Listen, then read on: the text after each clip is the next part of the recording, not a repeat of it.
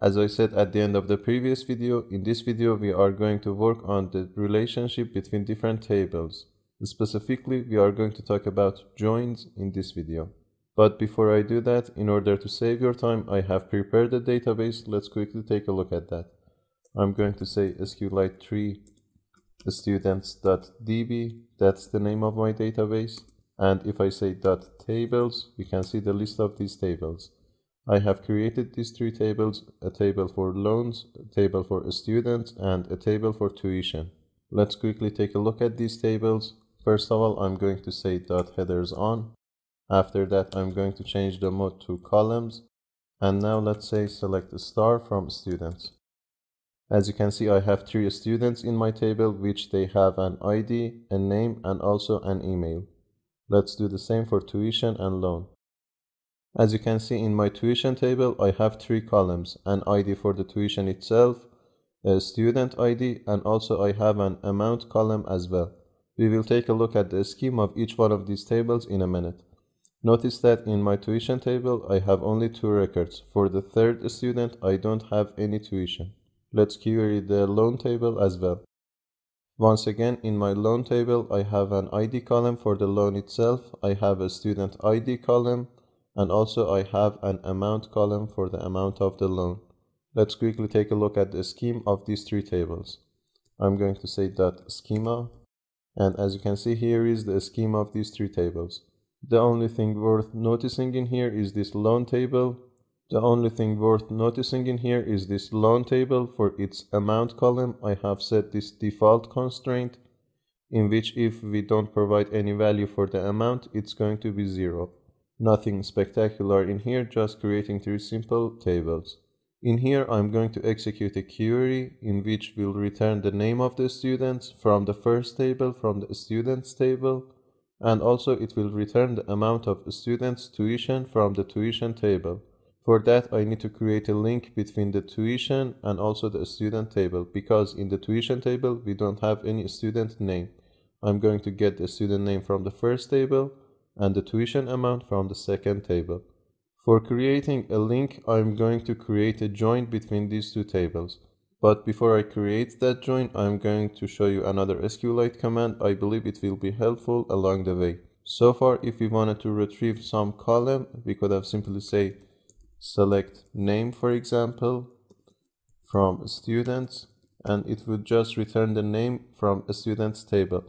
But if I want to change the name of this column in my results set, I can simply say as and I can provide my new name. For example, in here I can say student name.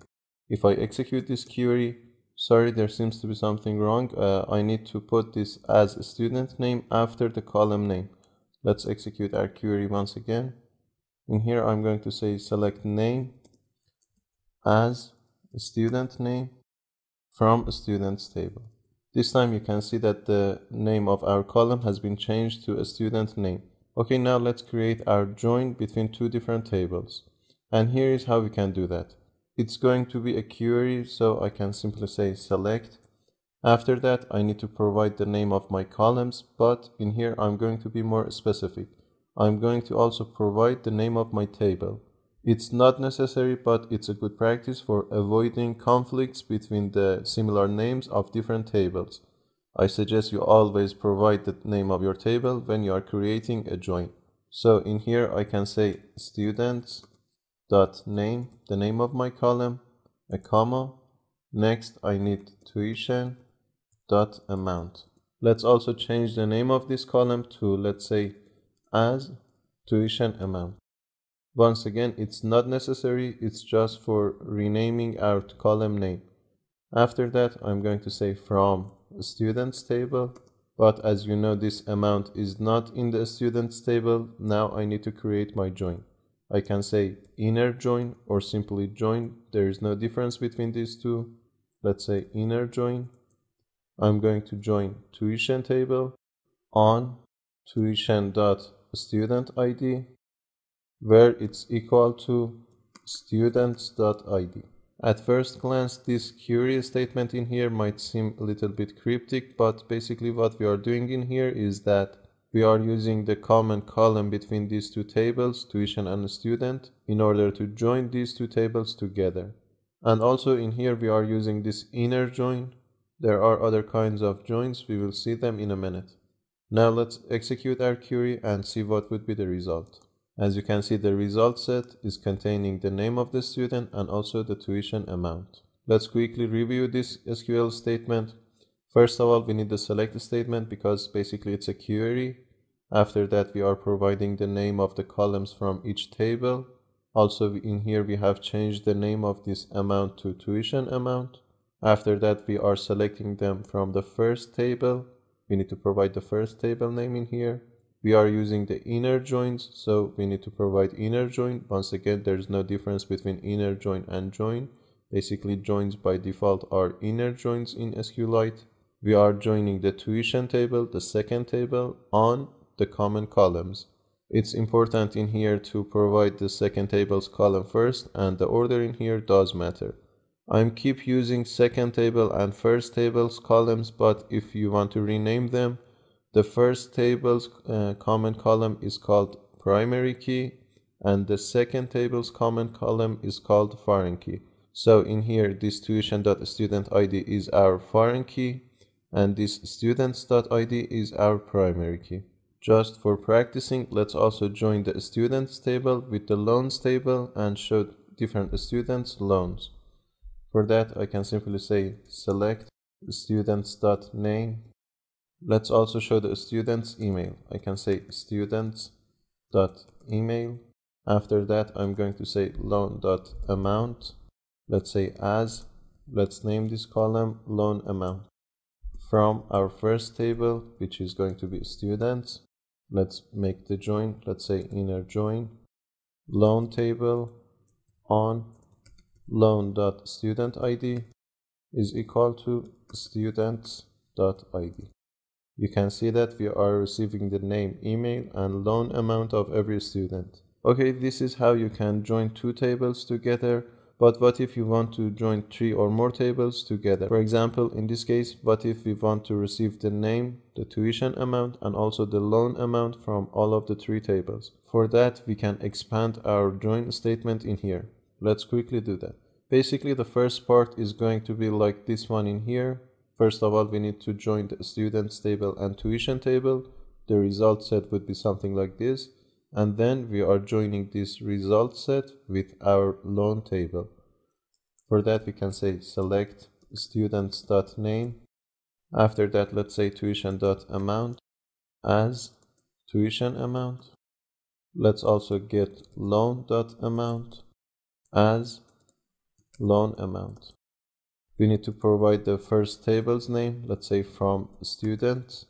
I'm going to continue the code in the next line, so if I don't provide any semicolon in here and I press enter, SQLite is giving me another chance to complete my statement.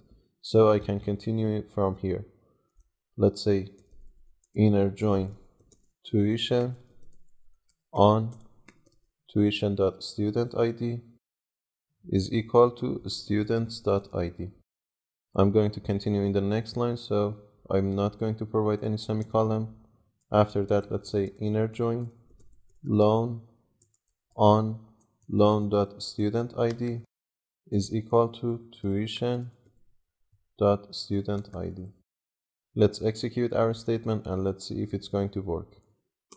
As you can see, it's working perfectly. We are receiving the name of the students, the tuition amount, and also the loan amount. We are receiving only two results, two records, and that's because in our tuition table, we didn't have any tuition for Brad. And that's the property of this inner join. So basically what this inner join is doing is that it's using the commonality between the tables that we are joining together. So if for some reason we don't have any tuition for some student in our tuition table, it's not going to be in our result set. The inner join is going to work only on the commonality between the tables that we are going to join together. In SQL, we have other kind of joins as well. For example, we have left outer join, we have right outer join, and also we have full outer join. In SQLite specifically, we don't have all of them, we just have left outer join. Basically what left outer join is going to do is that it's going to take all of the results from the first table and the results from the second table that have an equivalent in our first table based on the common column.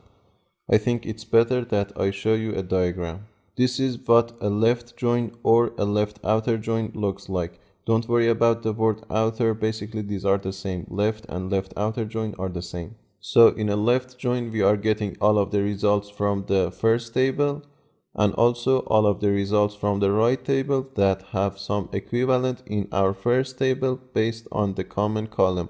I hope that I made it clear. Okay, let's go back to our SQLite environment and let's try a left outer join. I'm going to create this specific table on my students table and also the tuition table so that we could see all of the students regardless of if they have tuition or not. For that I can say select students.name tuition.amount let's say as tuition amount from students. Basically it's all the same as inner join we are just going to change this inner join to left outer join or left join let's say left join tuition on tuition.studentid is equal to students.id. Let's try our SQL statement. As you can see for Brad, we don't have any tuition, but we are seeing it in here. Sometimes left outer join might be useful, but in most cases, you are probably going to need inner join. That's the most common join that is being used in SQLite. There is also another kind of join in SQLite and that's called cross join. So basically what cross join is going to do is that it's going to link every record in your first table with every record in your second table. In some cases you might need that, but it's not very common. Let's quickly see that. It's very simple and we don't need a common column for this kind of joins. We can simply say select the name of our columns, which is going to be students.name and tuition.amount from students, let's say cross join, after that tuition, as simple as that. As you can see, every record in our first table has been linked to every record in our second table. In some cases, you might need this, but uh, honestly, I couldn't think of any case. But the only thing that worth noticing in here is that if your first table has three records and your second table has two records, the result set of this cross join is going to have 3 times 2 records which is going to be 6 records in this case. Okay, that's our talk about different joins in SQLite. We will be talking about foreign keys when we learned about triggers later on in the course, but for now I think that's enough. In the next video, we are going to take a look at subqueries and also if we had time, we will also look at some of the functions available in SQLite. See you in the next video.